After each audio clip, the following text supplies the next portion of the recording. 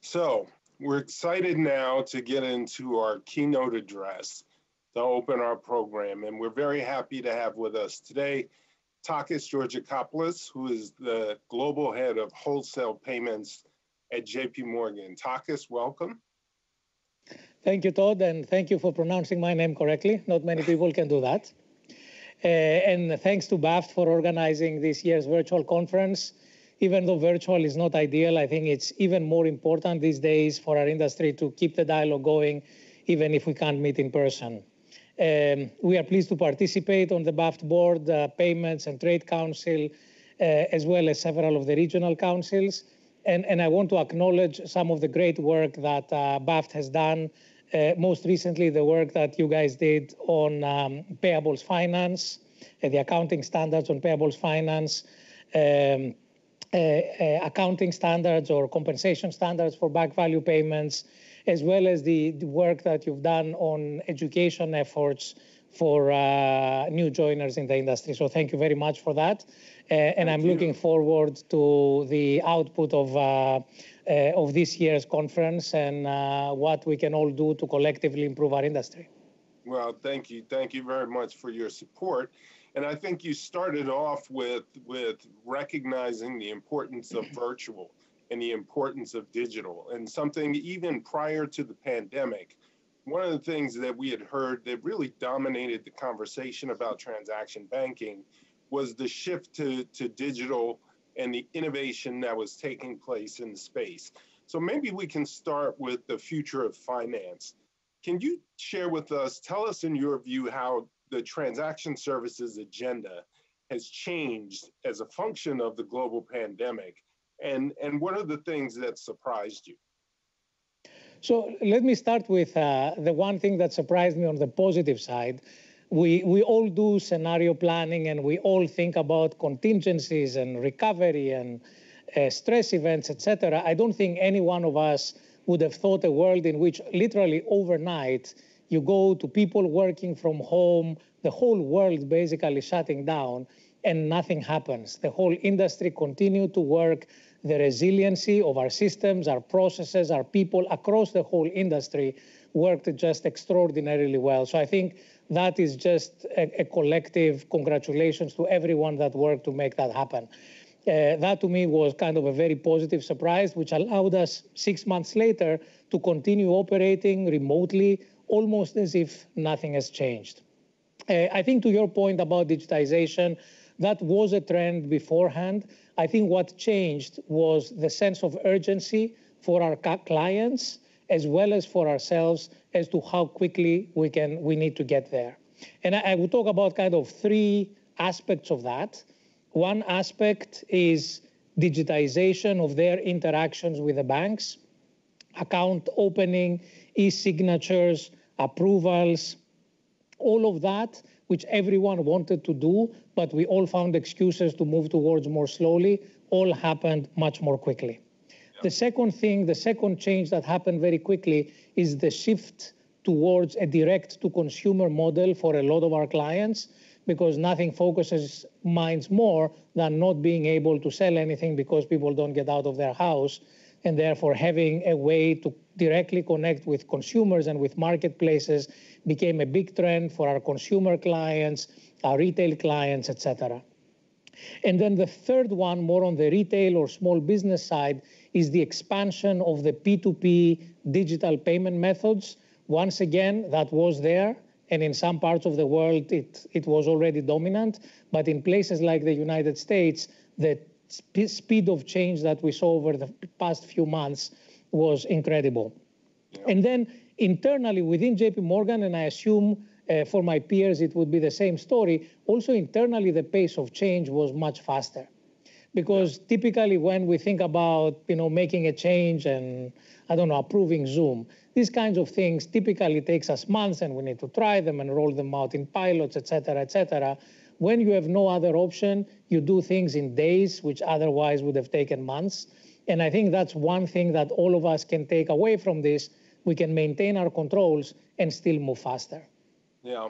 So it sounds like in, in many ways, JP Morgan was was able to pivot relatively smoothly as, as a function of this. And so I just wonder, as you're looking forward and thinking about the future of finance, how are you preparing for what you expect in the future?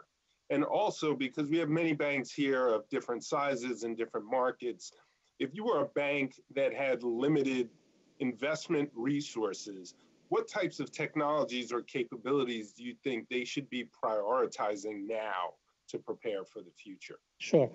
So uh, let me maybe take them kind of one at a time. First, I think the future of payments is exciting. I don't think there is any other part of the banking industry that that's undergoing such a tremendous change and it's a change towards the future towards digital etc so i think the future is quite exciting and i don't think the end state the end game has been written yet.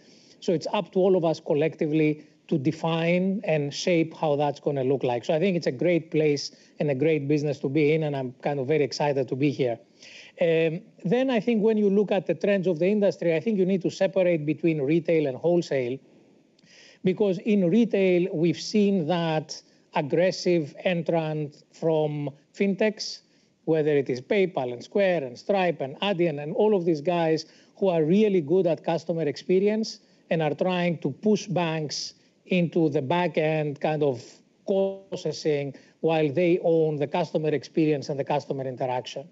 That obviously is something that we need to address if we want to stay in the game and we want to capture a decent portion of the value chain.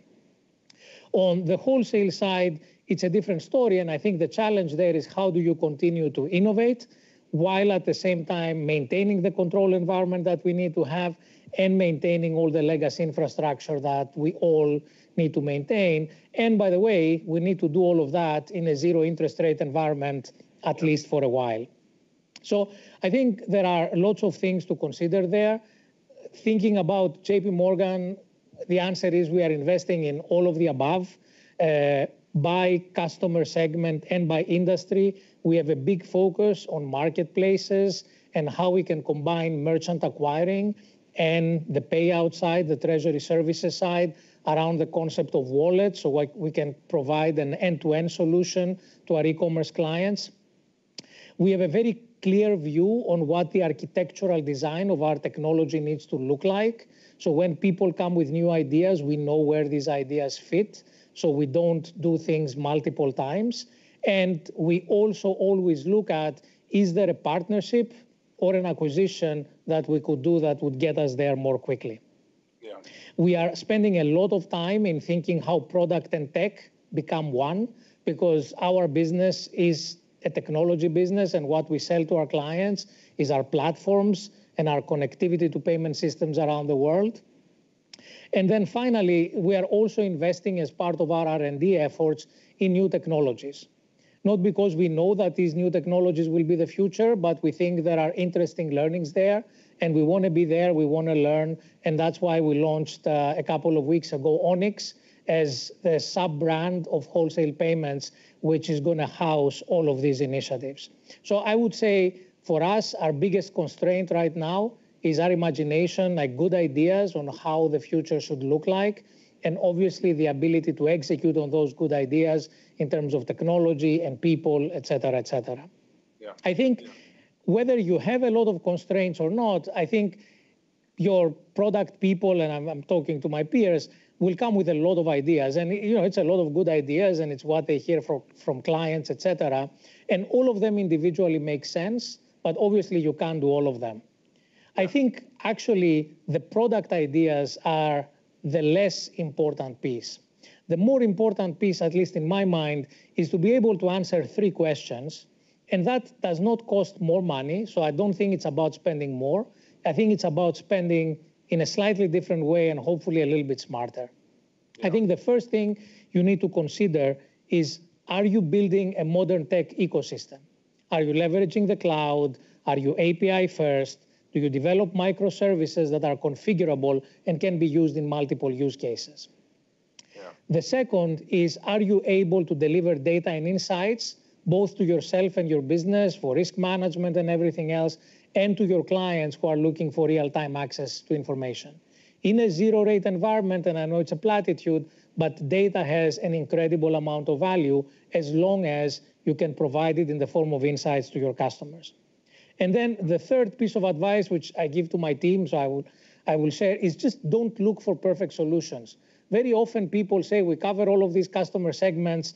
Let me design the right solution for each one and the right map by a customer journey, et cetera, et cetera. And in my view, that looks good in paper. It does not work in practice. What works in practice is come up with a solution, not a product, a solution for a client to a real problem, try it out, get the feedback from clients, roll it out to more clients, learn, and keep on expanding.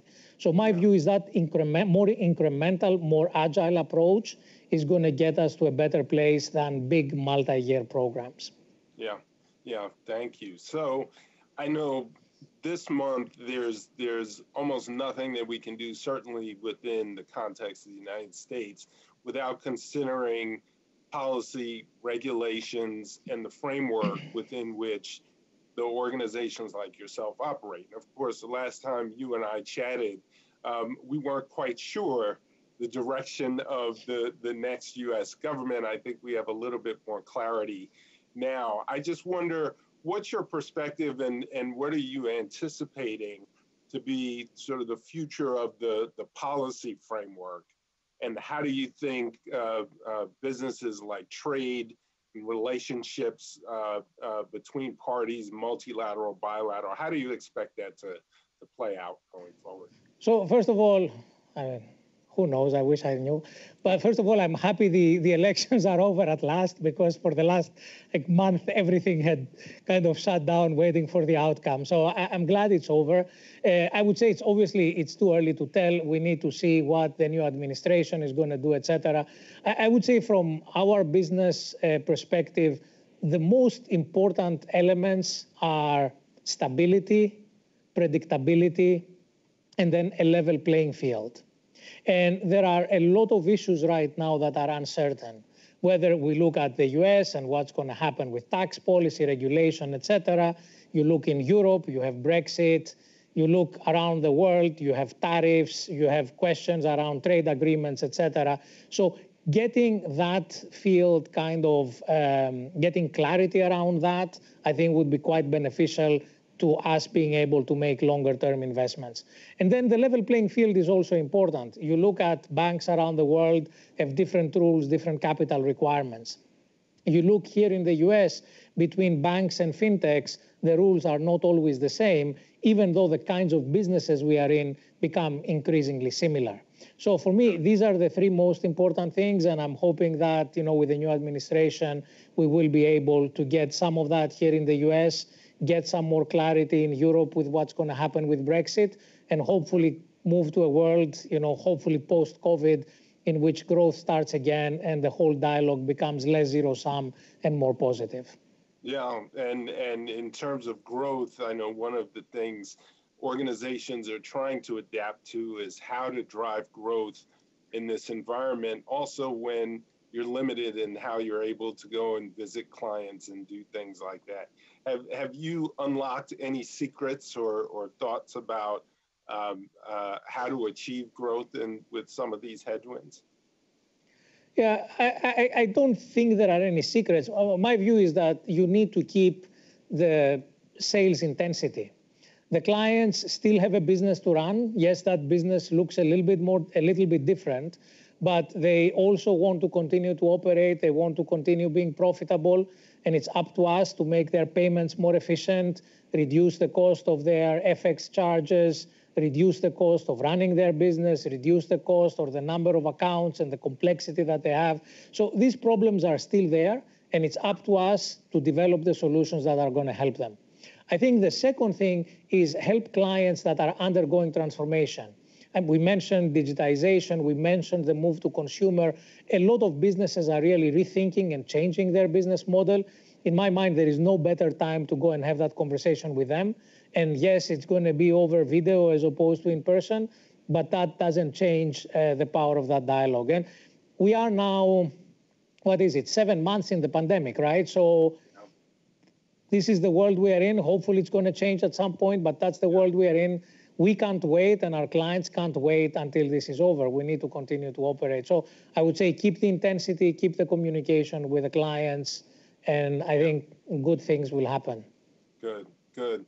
So one of the things, just continuing with the uh, some of the themes we've seen through the elections here in the U.S., um, there was certainly a lot of emphasis around um, social elements and the roles that organizations have.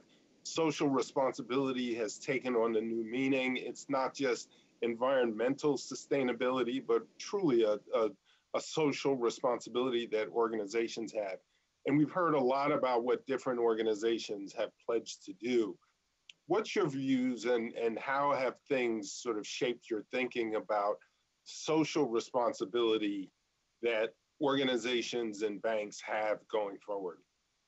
Yeah. So obviously we are part of JP Morgan. So a, a lot of the things that we do are firm wide. Uh, I think on the ESG front, uh, we've made a couple of announcements around supporting the Paris Climate Accords, making the bank carbon neutral, uh, committing money through our asset management business, etc., uh, launching green new products, etc. So there is a whole host of initiatives that we have as a bank. Uh, I think from our side, obviously, we continue to support the payment flows associated with that, and in particular within trade finance within kind of the supply chain and export finance world, there, there is work that we can do and we are doing around, for example, wind farms and other things like that to support those efforts.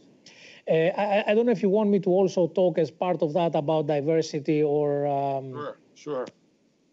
B- sure. Because that's another part, I think, of the social responsibility of, uh, of companies. And it's obviously, I mean, to, to state the obvious, unfortunate that in the 21st century, we have the issues that we have. And I just want to stress, because many of us run global business uh, businesses, this is not just a US specific phenomenon. It's right. a global phenomenon which obviously have different manifestations in different countries and different parts of the world. But the underlying issue is always looking at people differently because of the color of their skin or of their country of origin or of their uh, gender or of their, you know, a- any other preference. So that is obviously not acceptable. This is not something that we discovered yesterday. But at the same time, uh, there is no silver bullet. I think the good thing is that our business and our industry is among the most diverse within banking, um, but there is still definitely more work to be done. Uh, I don't think there is any silver bullet, but within my business and across JP Morgan, uh, there is a number of things that we are thinking about. Uh, the first one is holding people accountable. So we have a series of metrics, both quantitative and qualitative, which are part of senior management's compensation. So it is one of the important dimensions across uh, which you are judged as a manager. Uh, and then we are looking at the full value chain, starting with how we recruit. Which schools do we go to? What kind of people do we get from there? Are we going to enough schools that have diverse candidates? Then we look at the recruitment process, diverse slates. Uh, it should be 100%.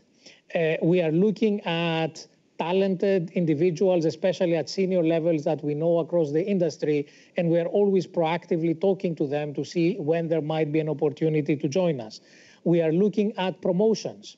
Promotions should be consistent with representation uh, at the you know lower level. If that's not the case, that means that we are doing something wrong. Maybe it's conscious, maybe it's unconscious. It doesn't really matter. We need to go out of our way to make sure we provide platforms to people.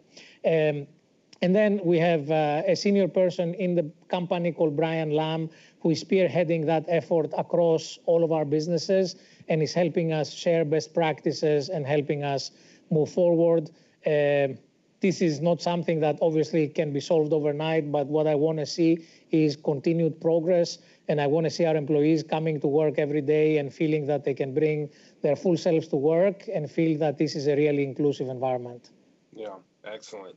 So if, if you were to, to think about perhaps the single most important area for banks across the industry to collaborate to try to, to come up with solutions to common problems, where would you want us to focus our attention? That's a great question. And I, I would say that bank collaboration is really important. If you think about all of our cost bases, they are so overlapping. We all do very, very similar things. And when we are able to create industry utilities, like we did, for example, with real time payments and with Zelle here in the US and in other areas, all of us see the value. I think, and I mentioned some of the work that BAFT is doing, it's all uh, quite valuable. Uh, within JP Morgan, the approach that we are taking as part of, uh, of the Onyx effort is to think about how we can create platforms uh, so many banks can interact with each other and exchange information with each other in a secure way. And the types of use cases that we are thinking about to answer your question is every area in which there is inefficiency and duplication in the industry. Think of check processing. You issue a check on one side, it has to go through a whole process, post office, physical checks, etc., to make it to a lockbox to get processed. This is a very old fashioned, slow, and expensive process.